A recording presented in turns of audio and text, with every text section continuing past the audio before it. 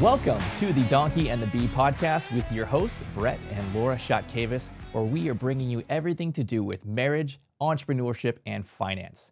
And today we're kind of encapsulating all of those with our discussion, and we're talking about how to get on the same page with your spouse. Money mindset is the topic, how to grow your money mindset together as a couple and set yourself up for financial success. I'm super excited about this topic because I think it's something that isn't talked about very often and I think can kind of fester in a marriage eh, because it's an uncomfortable topic to talk about. So I am very excited to talk about our story, how we got started, and pretty much explain that, you know, we were two average, ordinary people in college, starting with no money, and kind of worked our way up from there. So we're excited to tell you how we grow, how we grew together, and um, let's just get this uh, this party started, huh? Let's get it started. All right, fantastic. So we got married younger, right? We were in college and um, we were waiting tables. We really had no money mindset at that point. Um, we were just making money just to spend money.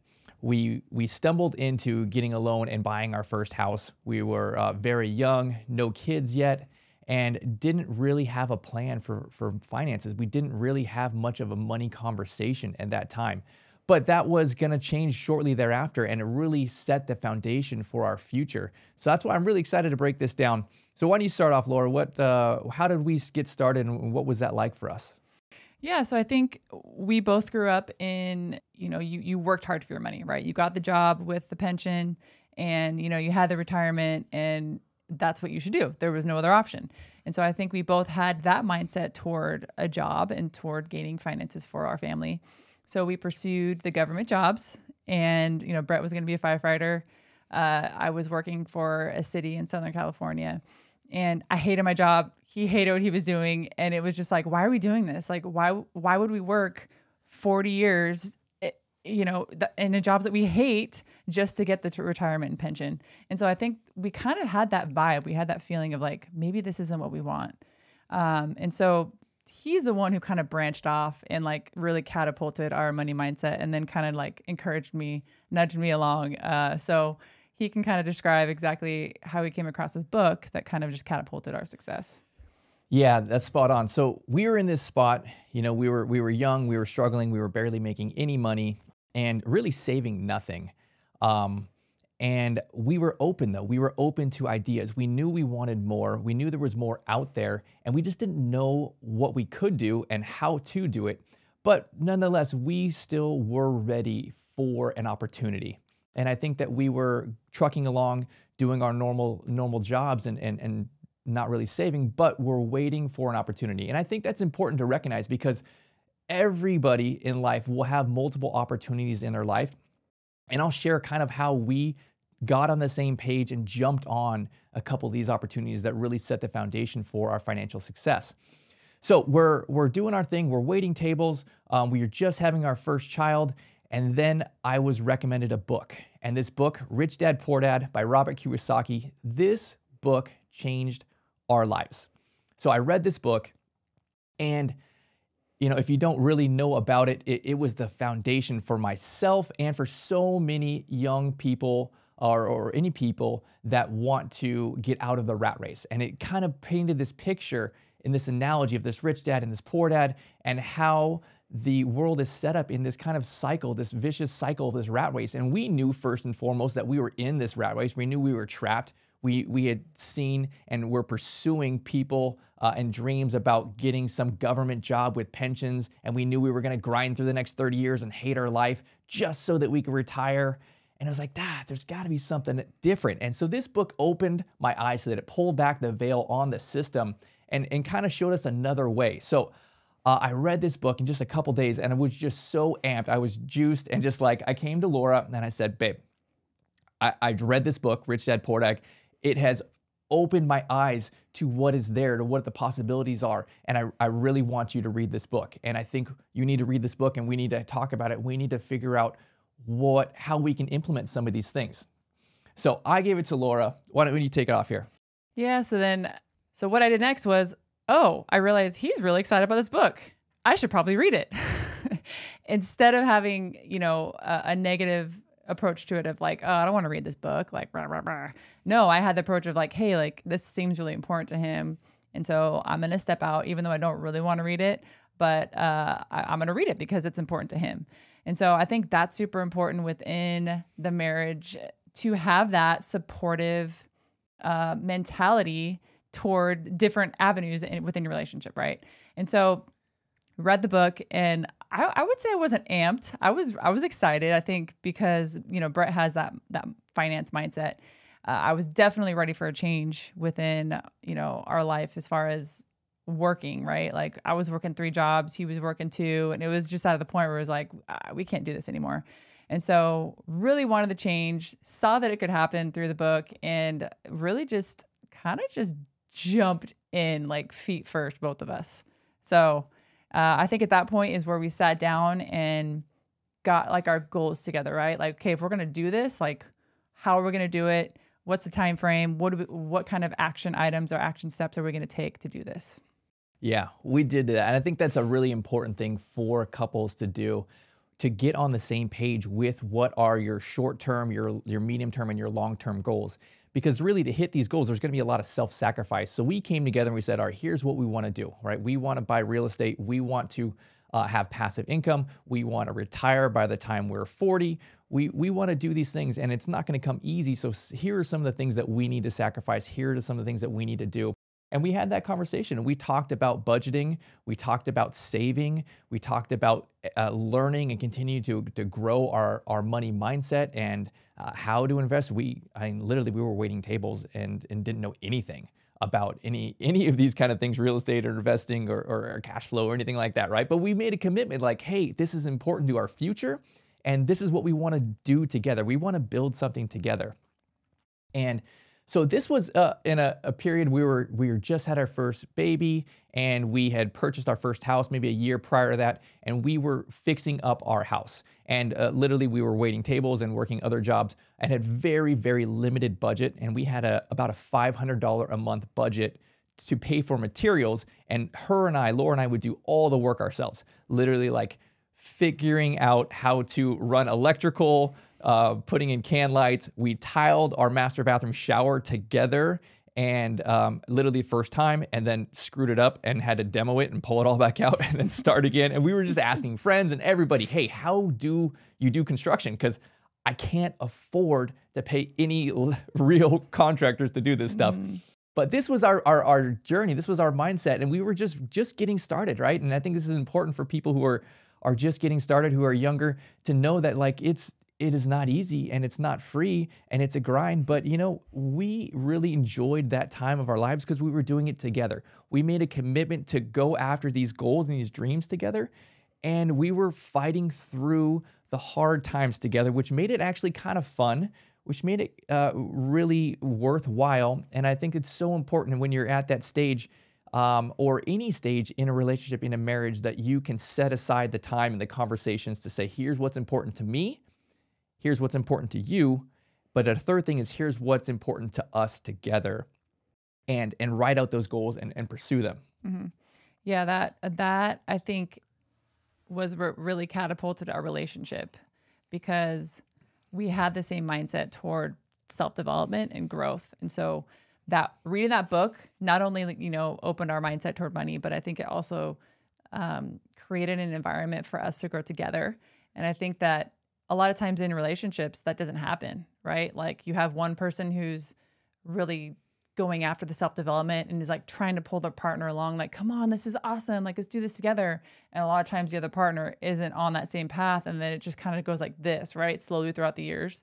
Uh, and so, you know, we didn't want that. We wanted to be on the same page and we wanted to grow together. And so I think that's where it really took us, right? Like writing those goals out, talking about them daily right? Um, just kind of put us on that path where we were just we were going like this together instead of separate, you know. Yeah, that's true. Mm-hmm.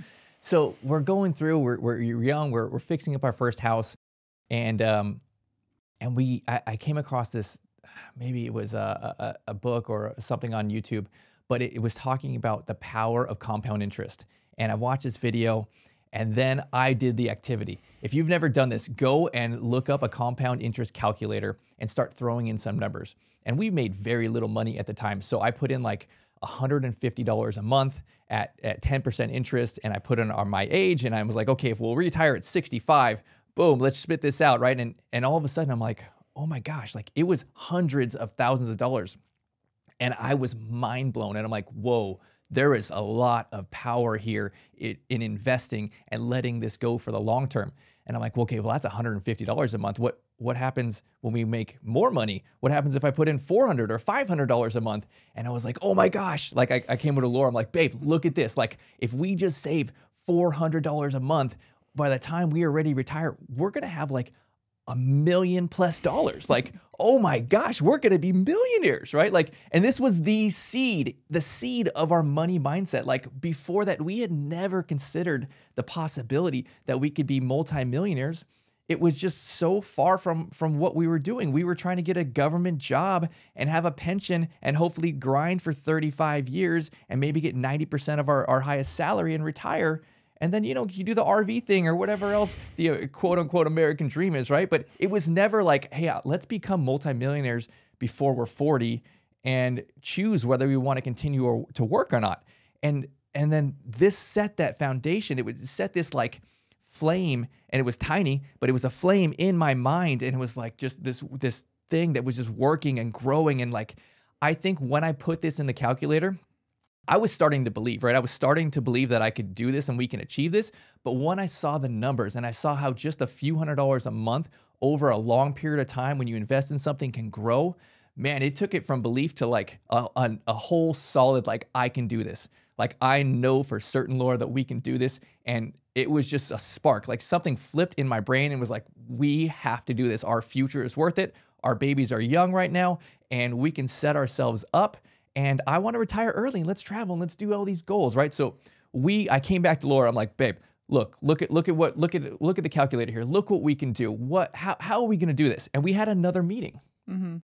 Yeah, I think I was a little bit like dragging my feet to be completely honest, because reading Rich Dad Poor Dad was hard for me initially because the the title itself kind of uh, kind of rubbed me the wrong way. I, I it made it seem um like it was glorifying wealth and like kind of like putting down like the you know the quote unquote poor dad. And so i kind of had like a a negative mindset toward it already. And so but when he confronted me about this whole compound interest thing and when he said multimillionaire i think that was really hard for me to swallow as well because i wasn't grown up in that type of environment neither was brett. But i think i had a negative association in my mind with wealth you know, if people who have a lot of wealth, oh, they must have got it from doing bad things or from lying and cheating and stealing. You know, it's like the whole Robin Hood thing, right? Uh, but uh, so I think that I had to change my mindset toward toward wealth as, hey, when we get this wealth, look how many people we can help. You know, so I think it was a reframing. I think in my mind toward money and toward building wealth and you know getting the assets. And so uh, when Brett came came with with this whole compound interest calculator. I'm like, what is this thing? And then uh, kind of breaking it down for me, I think it was kind of the same similar thing. My mind was blown. I believed it, but I still was a little hesitant toward it. Like, do I really want that? Is that something that is really going to be available to us? Like, we're just two young kids, really, who have kids and like have normal jobs. And so it kind of was a, I didn't believe it was quite yet for me. It was for somebody else, but maybe not for me. And so I think uh, Brett kind of helped kind of push me up out of that, like get my feet out of the ground and stop dragging my feet, uh, and and kind of a belief in both our minds that hey, like we can do this, we can achieve this. Yeah, and I think the most important part is we were able to come together and have some of these unofficial money meetings, and we sat down and we're like, hey, uh, this is important to me this is important to you. This is important to our family and, and our children and what we want to do. And honestly, we really, really hated our jobs. And we were so excited for the opportunity or the, the thought of quitting our jobs and saying, you know, hey, the man, we are out. We're going to do our own thing. So we had been primed. We were waiting in, uh, for an opportunity. And when we we saw these things and, and I, we really believed that it was possible, then it was like, okay, let's take some action. Like let, let's set some ground rules for what we want to do. So we had budget meetings and we we use the term we, we we went broke. We go broke, right? And we still go broke, right? And and that really means that regardless of how much money we make, we're acting like we're broke. We are spending very little amounts of money and we're very very frivolous and we did that for years, but we set the groundwork for that in this time in our story. And we said, hey, we're gonna go broke. We're gonna save as much as we can and we're gonna put it into a savings account.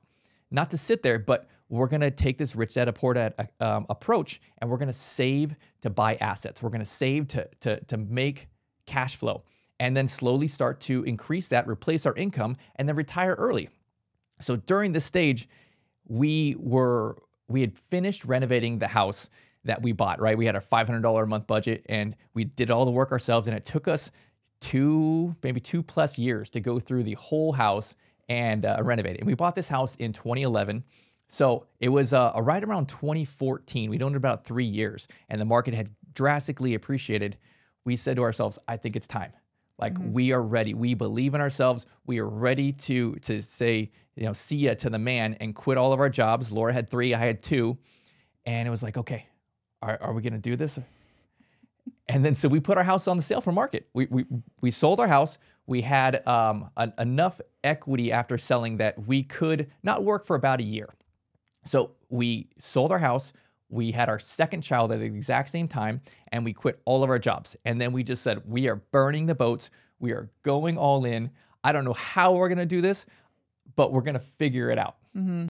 And I think that is really kind of the path of success, to be honest, is like you got to just kind of give yourself no plan B and just jump in. And uh, we definitely did that. And it was a little stressful, to be completely honest. Um, you know, we we decided to start flipping homes at that point, and we were waiting for the first deal to come in, and, and like, I mean, it was a month or two, and it was a little, it was a little stressful. But um, I think because we had the same mindset, we knew that we were committed to this and that we were, uh, I think we didn't give ourselves an option to fail. I think that was kind of a thing that really helped us as well. It's like, we're going to make this successful and we're going to succeed. And you know what? It's going to suck really hard on some of these days. Um, but, you know, we're in this together. And that's the thing. We always had each other's back. And I think that's really um, the foundation of of our marriage. And so I think that, man, that is what helped us through this whole struggle because it was a struggle, very much so. Yeah. So I, I, credit this time in our lives, in our marriage, as really the foundation for everything that we have now. And um, you know, we thinking to kind of wrap up that story.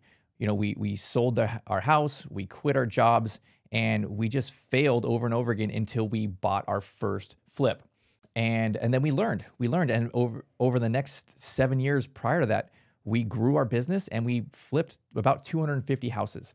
And we really took this model of going broke and we we spent very little money for for many many years and saved as much as we could and then just continued to reinvest that money into assets into cash flow into rental properties. And I think that that this was the best decision or one of the best decisions we have together because really we got on the same page and it allowed for so much um, financial stress to to come out of the marriage and, and not initially the first few years were very very hard but it put us in a place where we were able to use that compound interest we were able to grow our wealth and um, buy properties that continued to appreciate in value and continued to make more and more cash flow. And it really set us up on the beginning of our journey for financial freedom. Mm-hmm. For me, like I said, I was one a little like dragging my feet a little bit.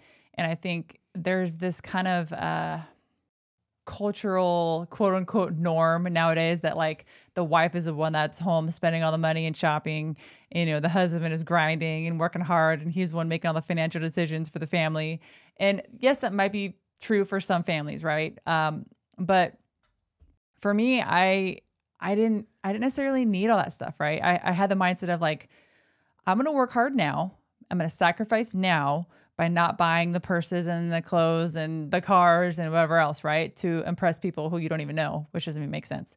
Um, I, I don't need that now. Um, I'm I'm gonna take this money and we're gonna put it away and we're gonna act like we don't have it, right? Until it gets to a certain point that we could purchase properties. And so that was the the mindset. And and and it was hard because you have all your other friends who are going on these trips and like buying these lavish homes and like you know the cars and whatnot. And you know we had a we had dumpy cars and like lived in like a normal house. And and, and it was okay to, for us. Uh, i think it was we didn't need to impress everyone around us uh, to feel i guess fulfilled. Uh, our our mindset was we want to build this for our children and for our kids. And so knowing that like when we get old and we pass away you know that we have something to pass on to our kids so that was what was super important to us yeah so I think as an application point, anyone who has not had that money conversation with their significant other, with the people in the relationships, uh, I would encourage you to do it. I think you need to get on the same page. You should ask three questions, right? What are the goals for myself? What are the goals for my partner? And what are our common goals together?